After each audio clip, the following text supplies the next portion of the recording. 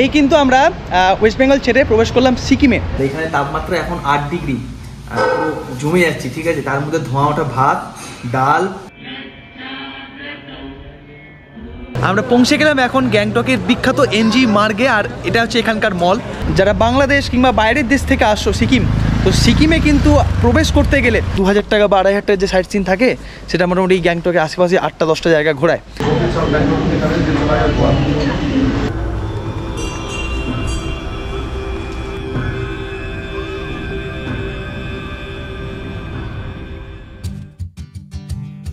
দিনটা ছিল নয় ফেব্রুয়ারি দু হাজার তেইশ।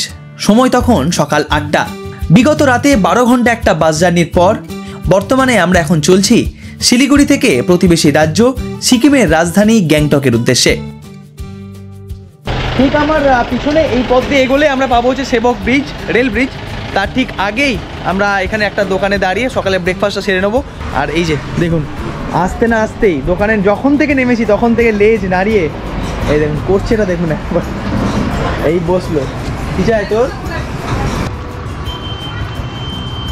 পাহাড়ের কোলে বসে গরমাগরম ধোঁয়া ওঠা চা সাথে পাহাড়ি ম্যাগি। আহা কতদিনই না এরকম একটা সকালের প্রতীক্ষা করেছিলাম আমি? ব্রেকফাস্টের পর্ব মিটতেই আমরা ধরে নিলাম সেবক রোড। আর একে একে আমরা পার করলাম সেবক রেলগেট।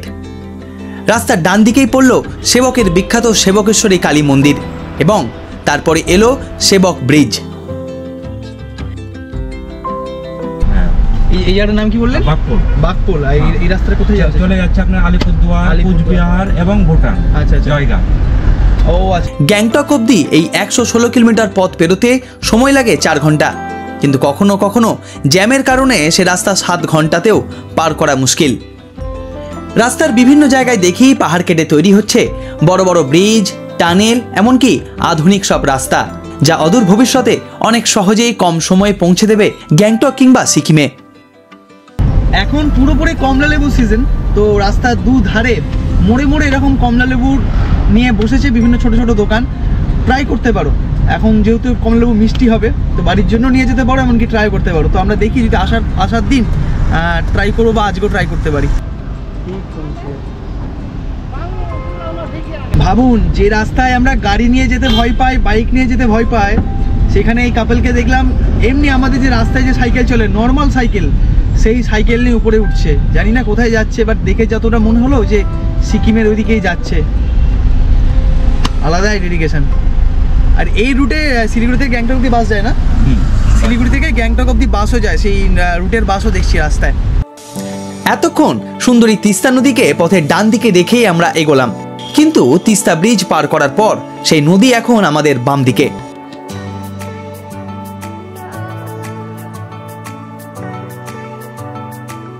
এই তিস্তা বাজার থেকে ডান দিকের রাস্তা সোজা চলে যায় কালিম্পংয়ের দিকে এবং বাঁ দিকের রাস্তা রংপো হয়ে সিকিমের উদ্দেশ্যে।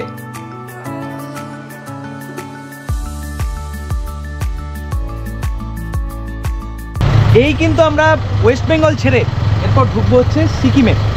এটাই হচ্ছে রংপো ওয়েস্ট বেঙ্গলের শেষ সিকিমের শুরু। সামনে ওই যে, এখানটা হচ্ছে গেট আর লম্বা লাইন পড়েছে এখানে। এই কিন্তু আমরা ওয়েস্ট বেঙ্গল ছেড়ে প্রবেশ করলাম সিকিমে। আর পিছনে যে অফিসটা তোমাদের দেখালাম, যারা বাংলাদেশ কিংবা বাইরের দেশ থেকে আসছো সিকিম, তো সিকিমে কিন্তু প্রবেশ করতে গেলে এখানে তোমাদের পাসপোর্ট ভিসা দেখিয়ে পারমিট বানাতে হয়। তারপর তোমরা আগে যেতে পারবে। এখান থেকে গ্যাংটক এখনও প্রায় চল্লিশ কিলোমিটারের পথ। আর সিকিমের এই পাহাড়ি আঁকাবাঁকা পথে বাম দিকে তিস্তা নদীকে রেখে আমরা যতই এগোই, ততই বাড়তে থাকে ঠান্ডা। তার সাথে শুরু হয় টিপ টিপ ঝিমঝিম বৃষ্টি।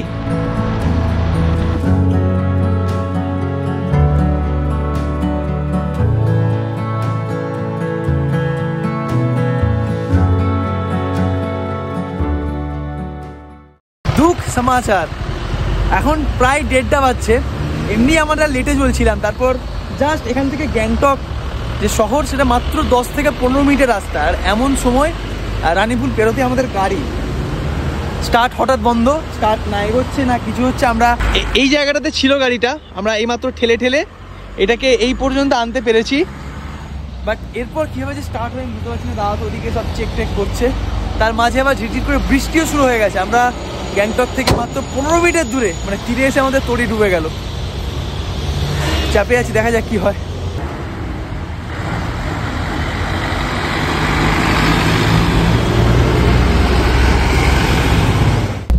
আমরা রানীপুল থেকে একটু এগিয়ে, যেখানে দাঁড়িয়েছিলাম, যেখানে আমাদের গাড়ি খারাপ হয়েছিল, ওখানেই এখনও দাঁড়িয়ে আছি। এক ঘণ্টা কুড়ি মিনিট হয়ে গেল। ওই জায়গাতেই দাঁড়িয়ে বাইরে দেখো, তুমুল বৃষ্টি পড়ছে ওয়েদার খারাপ, ঠান্ডা। তার মধ্যে আমি আর সবই গাড়িতে বসেছিলাম, এতক্ষণে মিস্ত্রি এলো। গাড়ি চেক হচ্ছে, এবার আই থিঙ্ক আমরা পৌঁছে যাব। অবস্থা খুব খারাপ। যাক, একেবারে গ্যাংটকে পৌঁছে দেখা হচ্ছে। গাড়ির সমস্যা মিটতেই দুপুর আড়াইটে নাগাদ আমরা প্রবেশ করলাম বৃষ্টি ভেজা সিকিমের রাজধানী গ্যাংটক শহরে।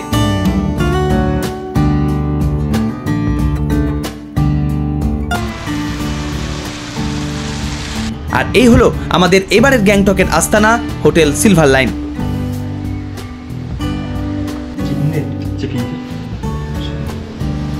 চেক ইনের সমস্ত কাজকর্ম মিটিয়ে আমরা সোজা চলে এলাম আমাদের রুমে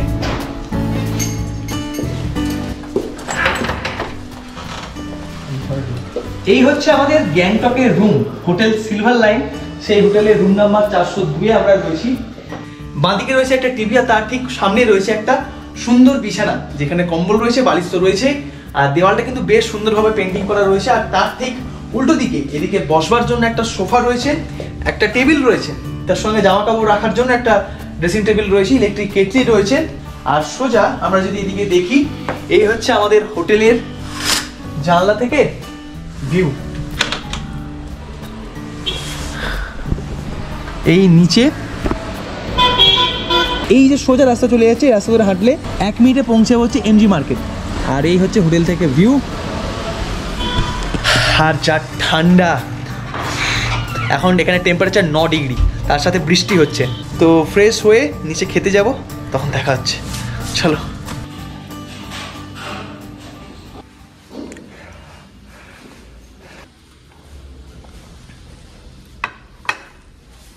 বারো ঘণ্টা কি? চব্বিশ ঘণ্টার পর কালকে দুপুরবেলা লাস্ট ভাত খেয়েছিলাম। তারপর পাহাড়ে এসে এখন বিকাল সাড়ে চারটে বাজছে, আর এখানে তাপমাত্রা এখন আট ডিগ্রি। আর জমে যাচ্ছে, ঠিক আছে? তার মধ্যে ধোঁয়া ওঠা ভাত, ডাল আলু ফুলকপি, তার সঙ্গে মাছের ঝোল। আর পেঁয়াজ আনতে বললাম, অমৃত, এটাই অমৃত। শুরু করি।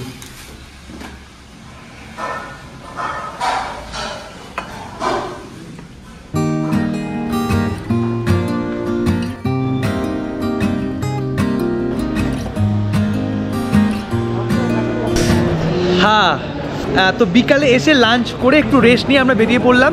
জাস্ট হোটেল থেকে পায়ে হাঁটা পথে কয়েক মিনিট। আমরা পৌঁছে গেলাম এখন গ্যাংটকের বিখ্যাত এনজি মার্গে, আর এটা হচ্ছে এখানকার মল। কাইন্ড অফ মানালির যে মল, তার মতোই কিন্তু একেবারে দারুণ রংচঙে, রঙিন, তার সাথে বা বৃষ্টি পড়ছে। আর প্রত্যেকে কিন্তু প্রত্যেকের মতন বিজি কেউ ছবি তুলছে, কেউ খাচ্ছে, তো দারুণ একটা মাহল। একটু ঘুরে দেখি মেলটা বহু বছর পর এলাম দু হাজার চোদ্দ সালে লাস্ট এসেছিলাম। দাদার এইচএস পরীক্ষার পর। আর দু হাজার তেইশ সালে এলাম প্রায় দশ বছর পর আর ছবিকে বলে প্রথমবার। প্রথমবার। তো ওর এক্সাইটমেন্টটা অনেকটা বেশি। আমি জাস্ট ফিল করছি দু হাজার থেকে দু হাজার তেইশ জিনিসটা কতটা বদলেছে আর কতটা আধুনিক হয়েছে।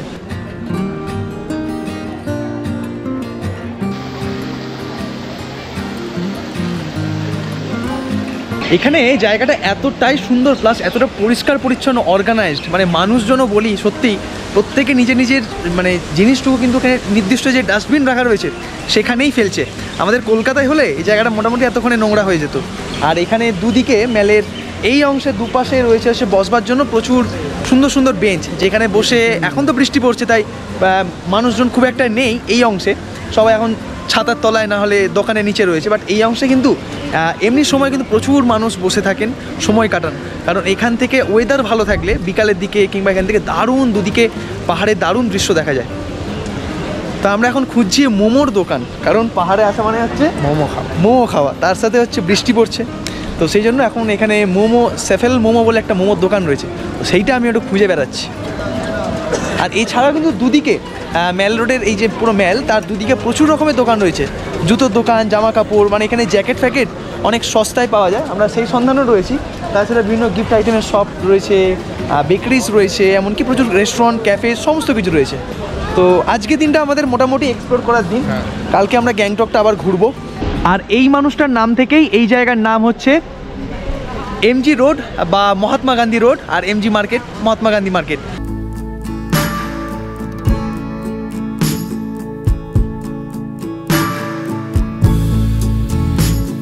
আট পিস চিকেন মোমো বলবি চিকেন মোমো চিকেন মোমো তো আমরা বর্তমানে এখন বসে রয়েছে হচ্ছে গ্যাংটকের বিখ্যাত একটা মোমোর দোকান সাফেল মোমোজে।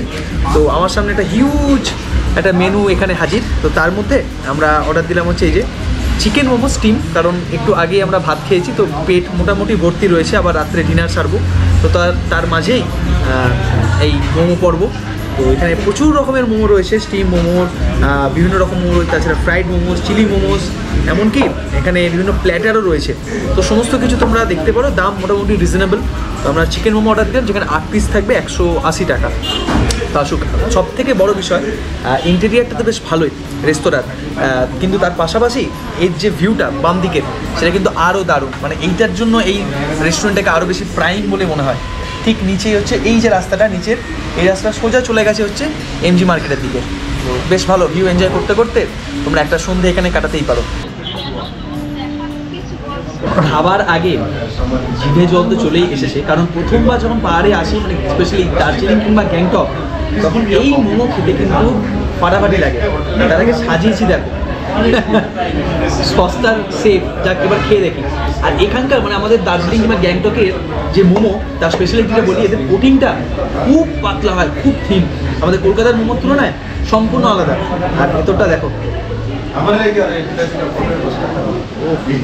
ভরে ভরে চিকেনের স্টাফিং ये रिपीट नहीं होगा आज के दिन में if you repeat this you become a terrorist ऊपर देख कोई terrorist उस टाइम में क्या था this was all in the form of entertainment ये मार सकते थे কলকাতার বিরিয়ানি যেমন অনন্য দার্জিলিং গ্যাংটকের মোমো কিন্তু অনন্য ফাটাফাটি আর সঙ্গে রয়েছে হচ্ছে ভেজ স্যুপ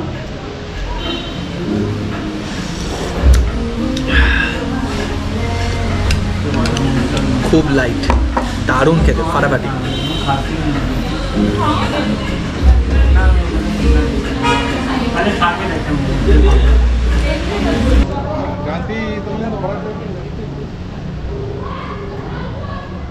এইটা সব জায়গাতে এখন হয়েছে। I love Darjeeling I love Mirik I love Kalimpong I love Gangtok তো এই আই লাভ গ্যাংটকের সামনে তোমাকে যদি ছবি তুলতে হয় মোটামুটি আধ ঘণ্টা দাঁড়াতে হবে।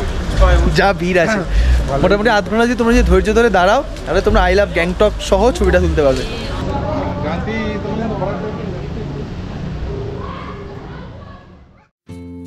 A very good morning from Gangtok.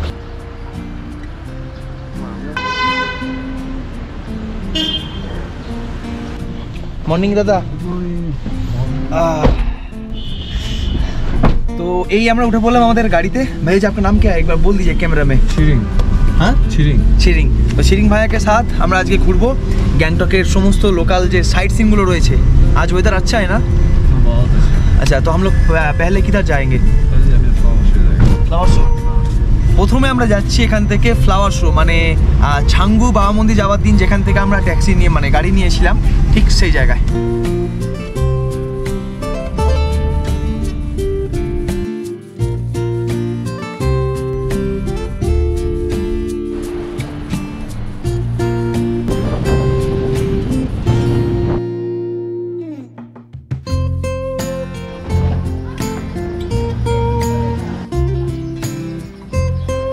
আমাদের প্রথম যে পয়েন্ট ফ্লাওয়ার শো সেখানে এন্ট্রি ফি হচ্ছে কুড়ি টাকা করে প্রতিজন।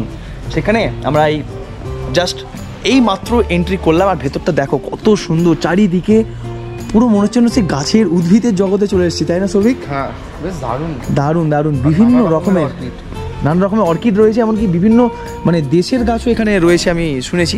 আর কিন্তু একটা রিকোয়েস্ট এখানে এলে কিন্তু ফুলে হাত দেওয়া বা মানে আমাদের যে স্বভাব ফুল ছেঁড়া এগুলো কিন্তু অ্যালাউ না। এখানে রাস্তাঘাট কতটা সুন্দর?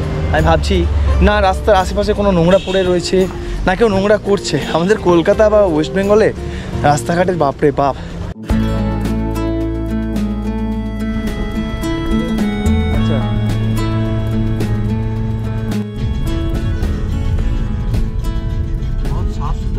আর বাদিকে দারুণ আজকে ওয়েদারটা এতটাই পরিষ্কার যে এখান থেকে পুরো শহরের দারুণ একটা ভিউ পাওয়া যাচ্ছে। ওই দেখো, ওই একটা ফুটবল খেলার মাঠও রয়েছে ওখানটাতে।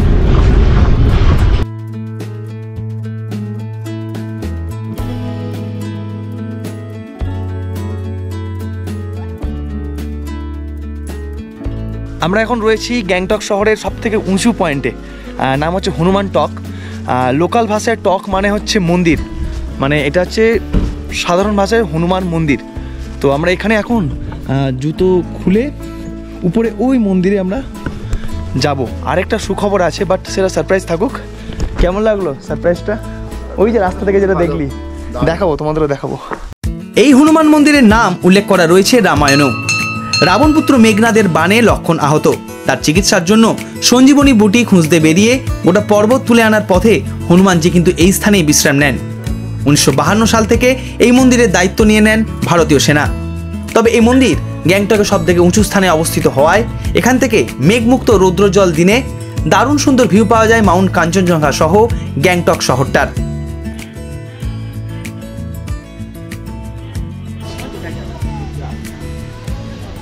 হনুমান টক দেখে আমাদের পরবর্তী গন্তব্য এবারের হচ্ছে গণেশ টক। আর টক মানে আগেই বলেছি মন্দির লোকাল ভাষায়, তো মানে হচ্ছে গণেশ দেবতার মন্দির উপরে। চলো, যাওয়া যাক।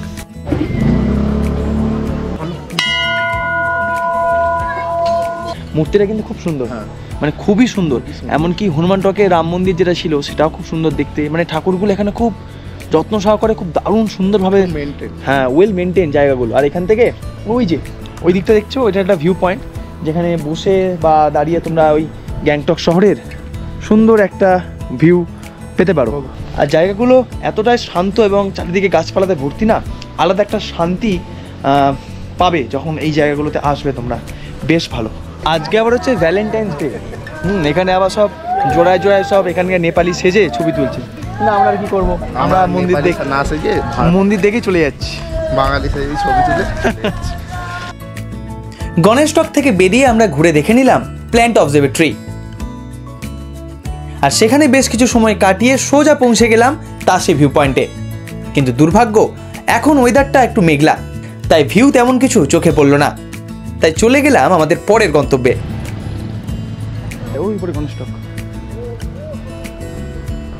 আমাদের এর পরের গন্তব্য হচ্ছে মনেস্ট্রি দশ টাকা করে টিকিট লাগল।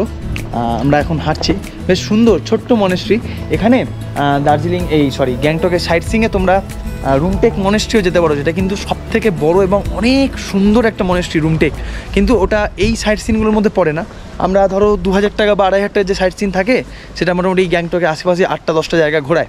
আর মানে আমি ড্রাইভারদার সাথে কথা বললাম আর পঁয়ত্রিশশো টাকার মতো যে প্যাকেজটা থাকে সেটাতে রুমটেক সম্ভব একটা কি ওয়াটারফল বলল ওটাও কিন্তু অনেক বড় একটা ওয়াটারফল ওই সমস্ত কিছু মিলিয়ে থাকে।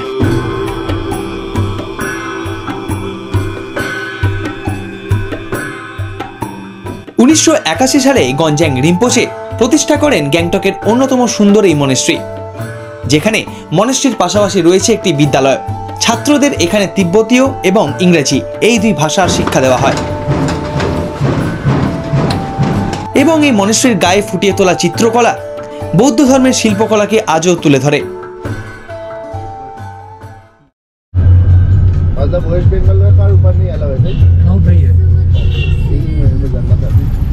আমরা কিন্তু পৌঁছে গেছি আমাদের পরবর্তী গন্তব্যে। নাম হচ্ছে বাক্তান ফলস। আগে একটা ফলস দেখলাম কিন্তু সেখানে না জল নেই শীতকাল তো আর জলের পরিমাণ কম। তো চলো এটা দেখলাম বেশ সবুজ আর জলও রয়েছে। আর সামনে ইয়ে গ্যাংটক শহরে না?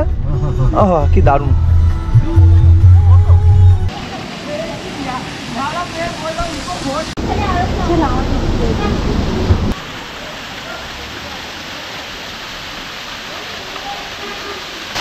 এখন তো শীতকাল, তাই বেশি জল এক্সপেক্ট করা উচিত না। বাট আগের বারে যখন আমি গ্যাংটক এসেছিলাম, তখন মোটামুটি ওই আগস্টের লাস্টের দিক ছিল তখন কিন্তু বেশ আহ, নেই নেই নেই তো তখন কিন্তু বেশ ভালো মতন জল ছিল এবং আরও সবুজ ছিল।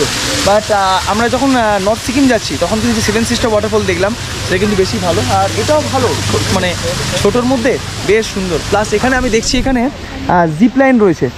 প্রচুর মানুষ এখানে জিপ্ল্যানও করছেন এমনকি এখানে যে লোকাল ড্রেস সেই লোকাল ড্রেসও এখানে পরে তোমার ছবি তুলতে পারো। কিতনা লাগতে হয় দিদি লোকাল হান্ড্রেড রুপিস লড়কা লড়কি দোনো का লড়কি বহুত বড়িয়া। তো তোমরা এখানে দাঁড়িয়ে এই ঝর্নার সামনে সেই ছবিও তুলতে পারো এমনকি প্রচুর খাবার দোকানও রয়েছে। তো খাবার টেস্টও করতে পারো। তো আমরা একটু ফটোশ্যুট করি ছবি টবি তুলি কারণ ছবি তো অস্থির হয়ে যাচ্ছে। আজকে ওর কোনো ছবিই ওঠেনি এখনও অবধি। শহরের পাহাড়ি পথ ধরে আমরা এখন চলছি গ্যাংটক শহরকে পাখির চোখে দেখার উদ্দেশ্যে। এটা হচ্ছে রোপওয়ের অ্যাসেম্বলি পয়েন্ট। আমরা এখন আজকের গ্যাংটক ভ্রমণের শেষ যে সাইট সিংয়ের পয়েন্ট সেটা হচ্ছে রোপওয়ে খুব সুন্দর লাগে শহরের উপর দিয়ে রোপওয়ে যায় তো আমরা সেখানে রয়েছি। চলো রোপওয়েটাকে এনজয় করা যাক শেষ বেলায় শেষ বেলা নয় এখন অনেকটা বেলা বাকি রয়েছে। এই আমরা কেটে নিলাম হচ্ছে মানে টিকিট এখানে টিকিট কাউন্টার একশো টাকা করে পার হেড টিকিট এরপর আমরা লিফট ধরে যাব হচ্ছে চারতলায়।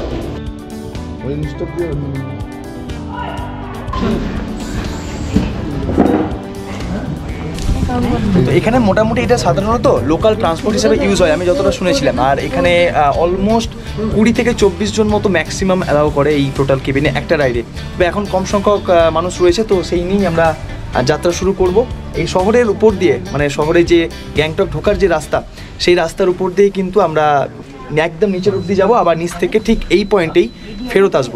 কতক্ষণ সময় লাগে সেটাই হচ্ছে ব্যাপার। এখন বাজে ঠিক একটা বেজে আট।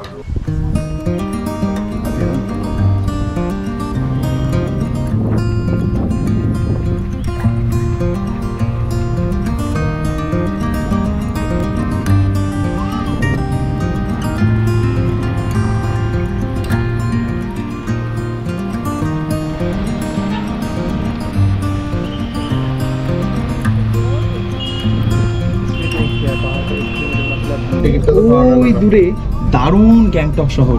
মানে অপূর্ব সুন্দর। মানে এইটা যদি তোমরা মিস করো তাহলে কিন্তু অনেক কিছু মানে গ্যাংটক ঘোরাটা অনেকটা মিস হয়ে যায়।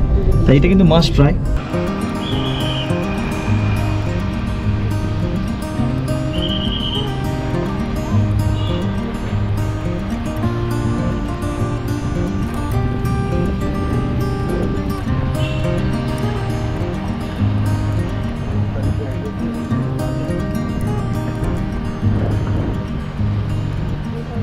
পাখির চোখে যে কোনো শহর বা যে কোনো জায়গাকে যতটা সুন্দর লাগে গ্যাংটক শহরকেও পাখির চোখে রূপের মাধ্যমে তোমাদের সামনে তুলে ধরছি। দুর্দান্ত একটা অভিজ্ঞতা, আমরা ফার্স্ট মানে এখানে এলাম, নিচে এলাম। এখানে কিন্তু বেশ কিছু মানুষ নিচে নেমে গেলেন, কিন্তু আমরা আবার এখান থেকে ওই উপরে রিটার্ন করব। এই রূপের এক প্রান্ত থেকে আরেক প্রান্ত গিয়ে পুনরায় ফিরে আসার মধ্যে ব্যবধান ছিল পাক্কা দশ মিনিটের। গ্যাংটকের সমস্ত সাইট সিন কমপ্লিট করে আমরা বাকি দিনটা রেস্ট নিয়েছিলাম আমাদের হোটেলে বসেই। কারণ আগামীকাল সকাল হতেই আমরা বেরিয়ে পড়ব ছাঙ্গু, নাথুলা এবং বাবা মন্দির ঘোরার জন্য। তার সাথে থাকবে প্রচুর আনন্দ, মজা আর অনেক অনেক বরফ। সেই পর্ব নিয়ে ফিরছি আগামী দিনে। আর এই ভিডিওটি ভালো লাগলে সেটে যাওয়ার আগে অবশ্যই একটি লাইক, চ্যানেলে নতুন হলে সাবস্ক্রাইব এবং কমেন্ট করে যেতে ভুলবেন না। তাহলে দেখা হচ্ছে পরের পর্বে।